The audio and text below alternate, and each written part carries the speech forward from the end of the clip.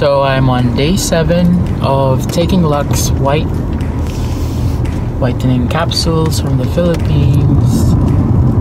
Day number 7. You know, good thing wala pa naman akong breakouts. No no big breakouts sa skin ko.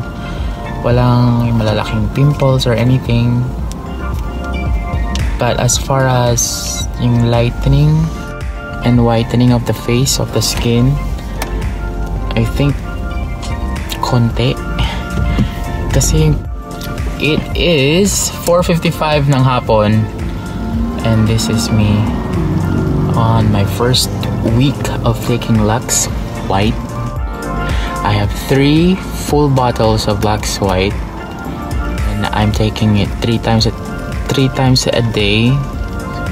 Six capsules a day nakakalokang pagpapaputi. Anyway okay that's it. That's all